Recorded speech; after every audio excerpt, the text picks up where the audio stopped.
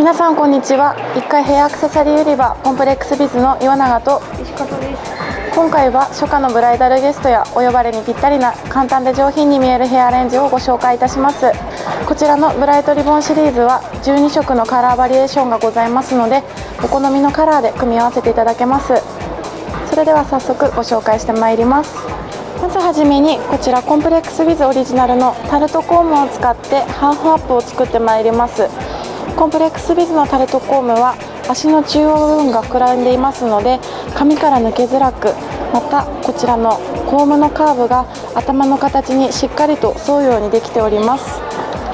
今回は髪から抜けづらく仕上げるためにモビロンゴムを使ってご紹介いたします。トップの髪の毛をこのように集めていただいてゴムで結んでいきます。この時少し右寄りに毛束を集めていただいて結びます。結んでいただきましたらゴムを下方向に少し下げていただきます。そしてこちらを右回りに23回ねじります。ゴムを隠すようにして入れ込んでいただくとトップが自然に膨らみます。こちらをタルトコームで裏面から少量をすくい上げるようにして折り返して差し込みます。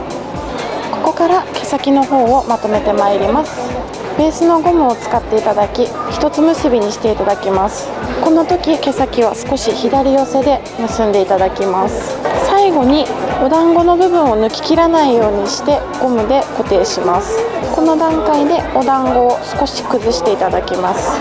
毛先の方をゴムに巻きつけていただいてデザートクリップで固定していきます。今回使用するのは新作のブライトリボンシリーズのパープルとブルーでご紹介いたします。反対側は作ったお団子を右側にねじりながら持っていきねじり山と地肌の方をつなぎ合わせるようにして固定します。最後にバランスを整えていただいて完成です。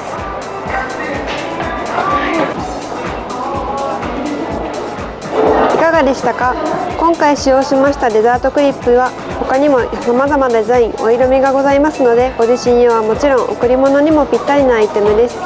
コンプレックスビルでは初夏に合わせて明るいカラーを多数ご用意しておりますのでぜひ店頭にお立ち寄りくださいませ。